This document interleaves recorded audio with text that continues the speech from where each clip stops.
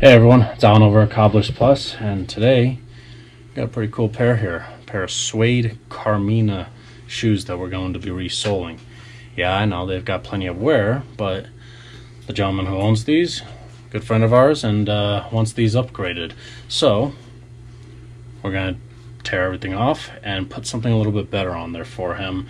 And uh, we're not quite sure which option he wants to go with yet, but we're to let him decide once we've got the sole off, send some pictures to him. So I'm not to quite uh, mention it yet.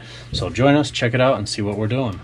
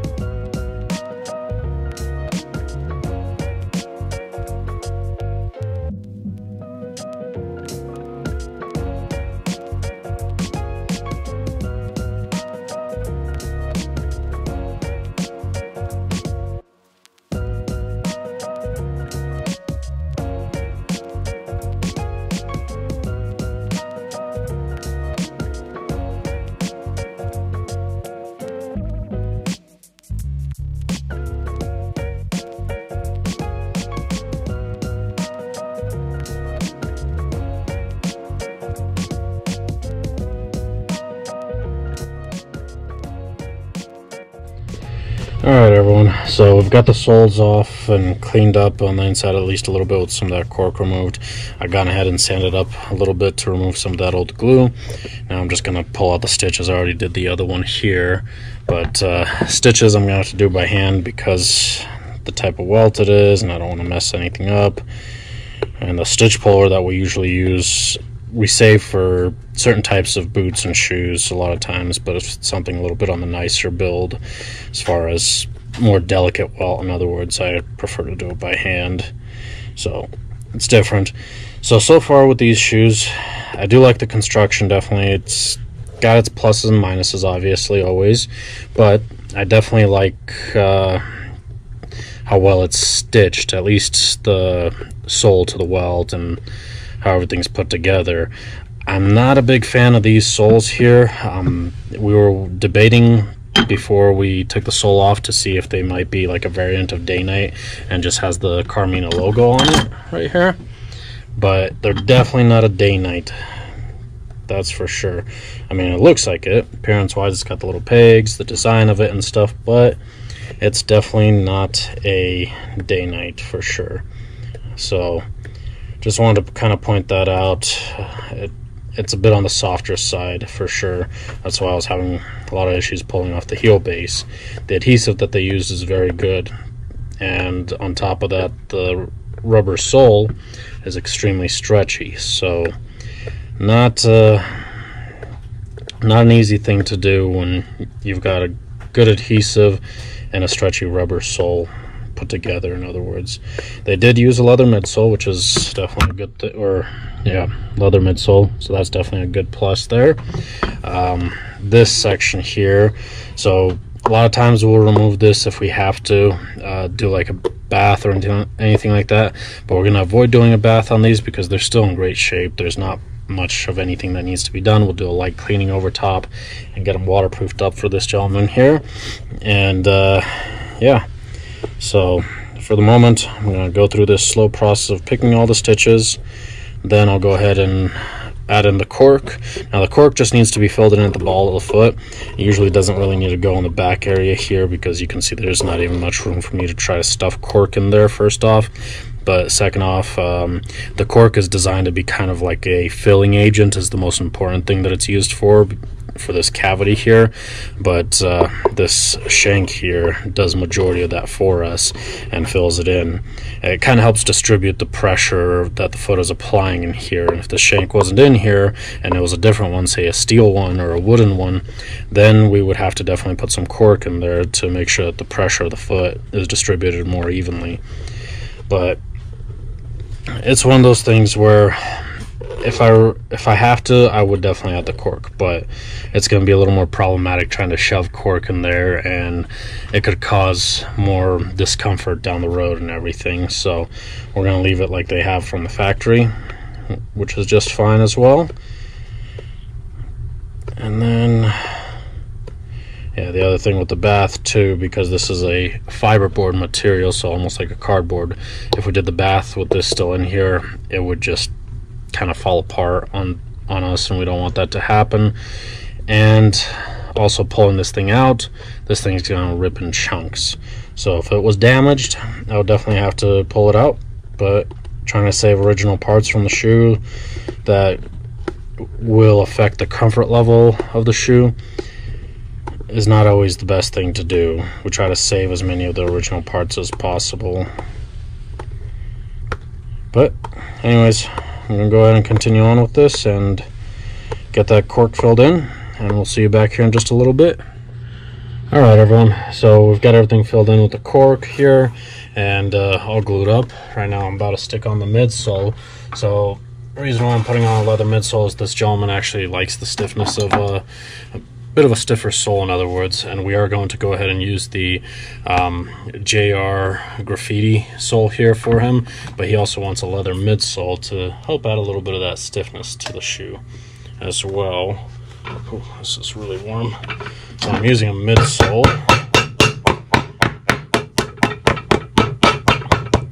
Now a lot of times you don't really need a midsole necessarily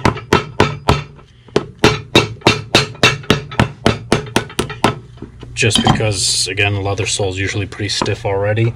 But uh, he did request this, so we'll go ahead and do that for him.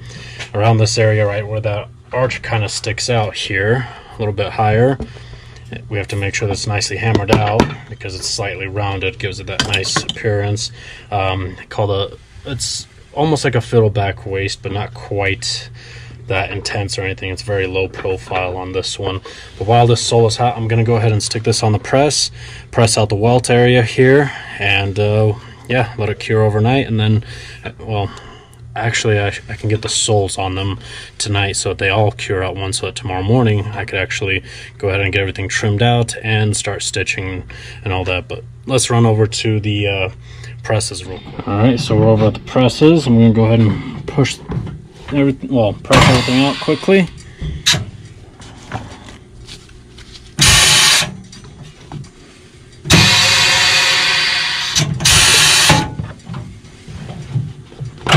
Okay.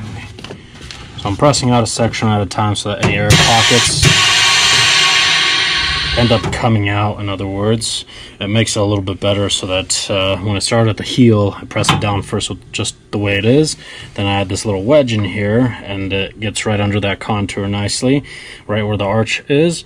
And then I switch it over to the foot press, and it presses out this small section. And then finally, finish off at the toes there. Now, most uh, air pockets or bubbles will end up disappearing and everything, but I still like this press anyways, especially because it presses downward. Most cobbler shops, their presses, they have the sole facing upward and it pushes down. Certain adhesives, unfortunately, when we have to use them, they, they can leak out to the side of the shoe and that's that's bad, really bad. Where ours, on the other hand, does the opposite. And you can see that's why some of my padding here is kind of worn out and everything. It's from the adhesives and stuff going down onto the pad and the sole that gets trimmed out anyways instead of damaging the upper.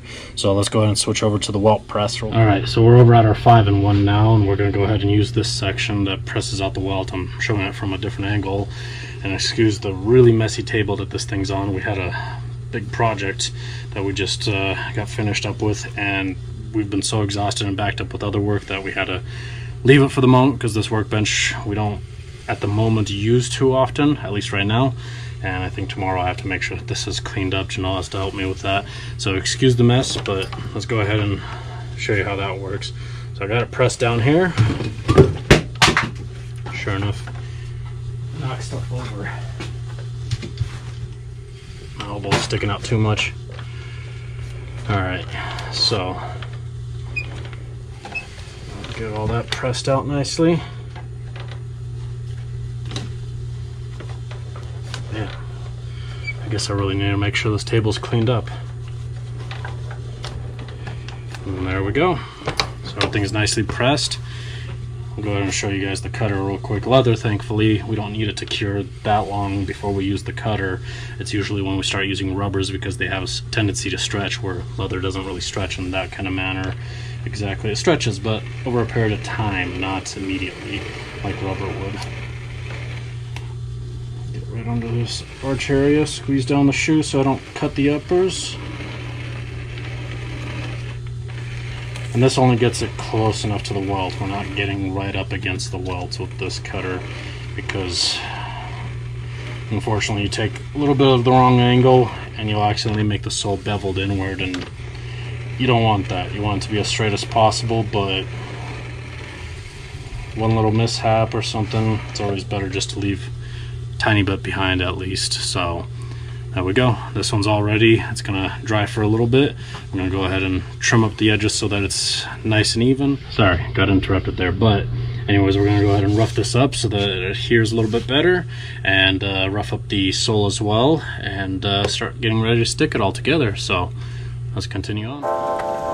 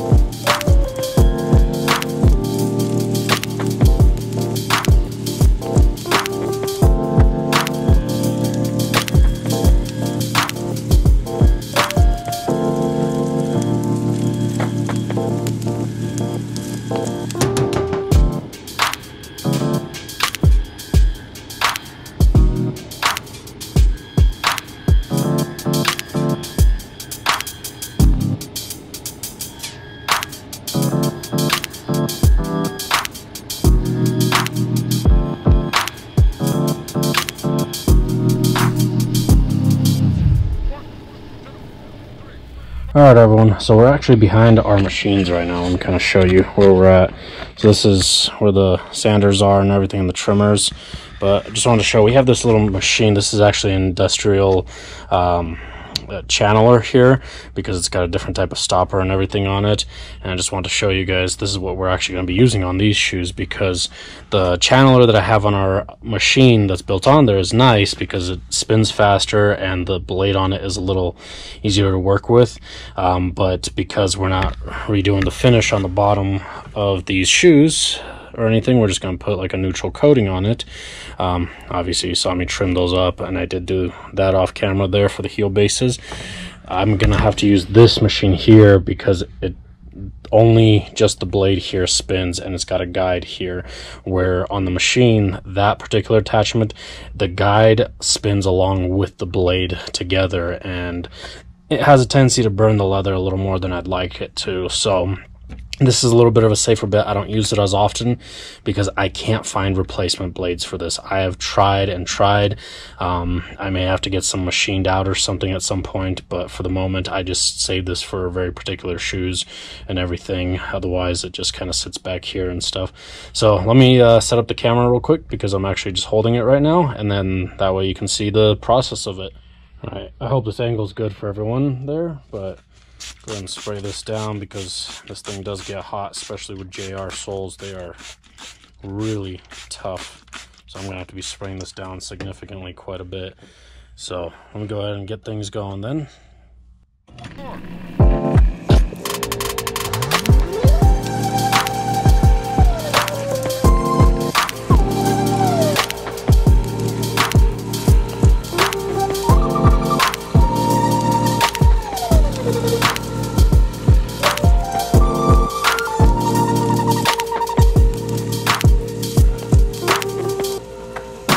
All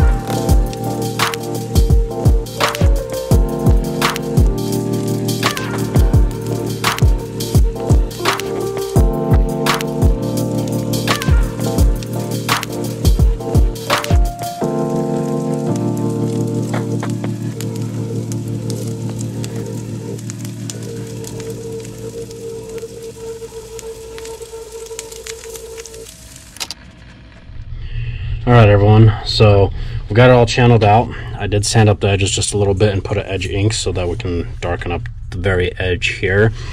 Gives a little bit of a class i guess.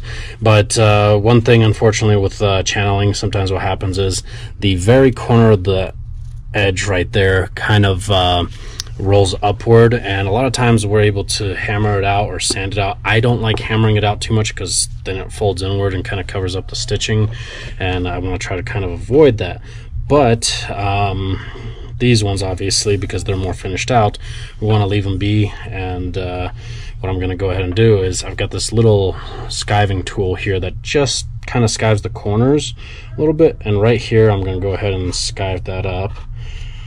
Just go around a little makes it makes it more finished in other words. Small little detail like that and it keeps it from being a sharp corner too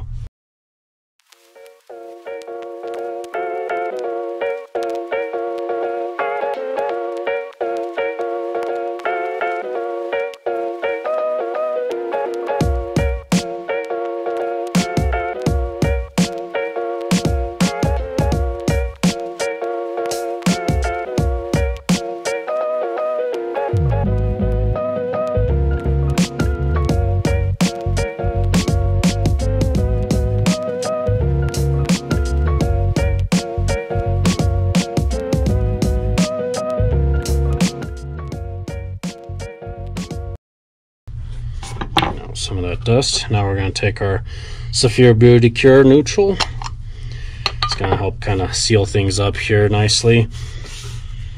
Protects it a little bit better too. Also, once we start getting into more of the edge ink and all that, it's a lot easier to clean up after this is on here because it does create a little bit of a wax barrier because there is some waxes in this cream polish here. And if you're wondering, well, why aren't you using the Medaille d'Or?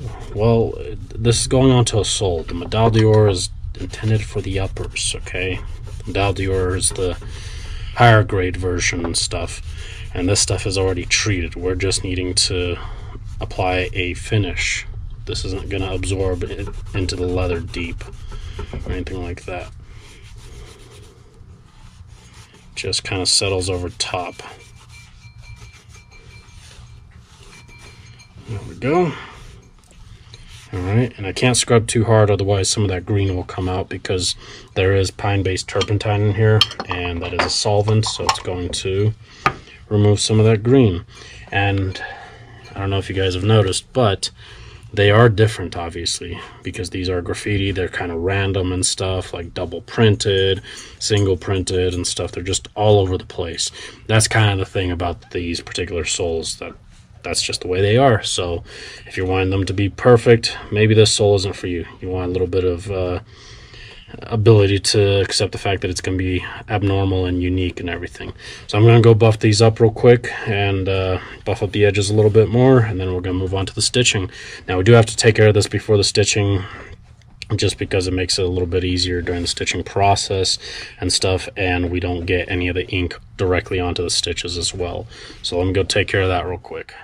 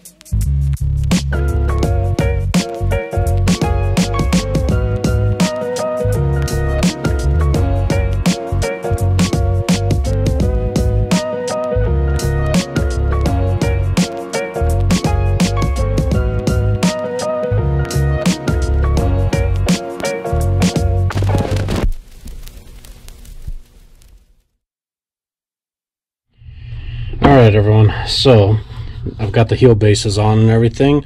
Now I did check for the height and all that because the heels that we're using, they're the JR Vibram combination heels for these.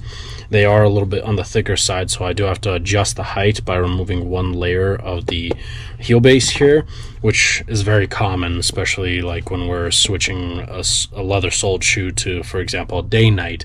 The dainite heels are very thick, and most of the JR sole uh, uh JR heels are also on the thicker side, like the dovetail and the uh, Vibram JR combination as well. So we have to make sure that we adjust for the height, otherwise it's going to feel like you're on a you know platform or a high heeled shoe, in other words. But at this point, we're going to go ahead and put the nails back in, or not back in, but new ones. And uh, we're going to aim for those same holes there. Now, sometimes I'll go over to our heel wheel and do it that way, but since this is a shoe that's open, it's a little bit easier for me. Let me see if I could turn this for you guys to be able to see. Let's see. Okay. Sorry, I got a little interrupted there, but yeah, so for the moment, what I'm doing is just nailing in, following the original holes in here a little bit, and then I'm gonna go ahead and hammer all the way in. Grab my little hammer here. So this guy here is an option too. Some uh, some cobblers have longer ones, but mine unfortunately is not too long to be able to just hit it. And the other thing is i'm always concerned about hitting the side here. And uh, yeah so i try to get the heads in at least a little bit first beforehand. And then from there i'm able to grab a punch and just hammer it the rest of the way in.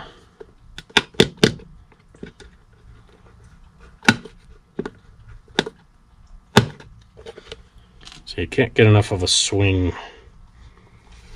to just really get it in there. Even with this hammer. See, they're all sticking up still. But I like doing it like this, honestly. It's a little more feels like it's more finished in other words for me. But sometimes we have no choice and I have to use like the heel wheel or something. Surprisingly, though, here in Colorado, most of the other shops that I've come across, and I've worked at a few of them also, they actually don't run nails in like this, not just by hand, uh, but even with the heel wheel, into the boots and shoes, which is ridiculous, especially with like Western boots. You've seen a number of my videos if you've been part of the channel for a while. I do a fair amount of Western boots as well. But some cobbler shops, or most of them here, what they actually do is they use wires. They, we have a what's called an auto solar. You've seen me maybe use it before if you've again watched a number of my videos, but it runs little wires in through this side, which granted, yeah, you can you can technically do that, but it's not as strong as having nails going all the way through like they have from the factory here. And I always prefer that kind of build where that's one thing I do like about these shoes that they actually do the nails in from the inside. I prefer that much more. It's more secure versus what Allen Edmonds does, for example, and a number of other brands too. This is a heel base of theirs, and they run the nails through the top. So the, the rest of the shoe sits on top, and you got these nails that go into the leather. And to me, just it's not the preferred method. It's not the way I like to do it necessarily. So, but hey, we try to restore it as original as possible as well. And plus, these ones do have a three quarter length insole that goes to them anyway, so it kind of helps cover up the nails nicely. But that's what it looks like. So I'm going to go ahead and get this all shaved up and clean off all the old glues and stuff and uh, start gluing the heels on. And we're almost done. Alright everyone, so I've got the heels on there and everything, and my battery unfortunately died, so I wasn't able to get majority of that, but got the edges kind of finished out, got some green on there, you know, do some final touches, got some green into that Vibram there. Be great if I can get into that JR logo, but it's just not deep enough, unfortunately, on the heels uh, to be able to get some green in there and then have it look like the logo and the JR uh, letters, in other words. But at the moment, I'm putting in the nails here on the sides. I'm using one of these compass tools here to mark out where I'm placing them. And uh, punched them with a awl like that there. And just uh, hammering some nails in. So just about done with it. Need to do some final touches on, on the bottoms and then do the edging. Nothing too fancy, but uh, definitely coming along. Oh yeah, and I got the insole, at least on this one, glued in the other one I've got right here and stuff. Still got to clean that one up a little bit too. But the final stage, obviously because these are suede, most important thing is going to be waterproofing. Make sure you waterproof all your suedes.